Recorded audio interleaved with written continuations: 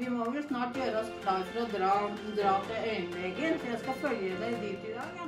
Jeg engasjerer meg i besøkstjenesten i Brøttum Røde Kors fordi at jeg syns det gir meg veldig mye.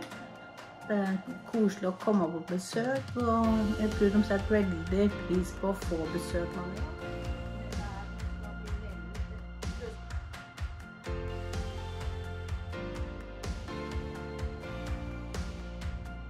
Jeg eh, engasjerer meg i hjelpekorpset og det arbeidet vi gjør her, for eh, det er et meningsfylt arbeid. Og det gir eh, litt ekstra å kunne hjelpe folk når de har problemer problemer. Det gir meg en veldig god følelse av å kunne gjøre det. Både i fint vær og dårlig vær. Og det er noe vi har av på fjellet.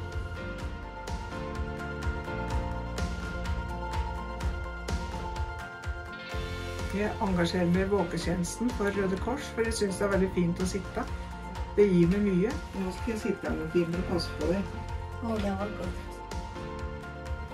Hei, Marit. Hei, Marit. Her er hele gjengen. Åssen har det gått med dere i dag? Veldig bra.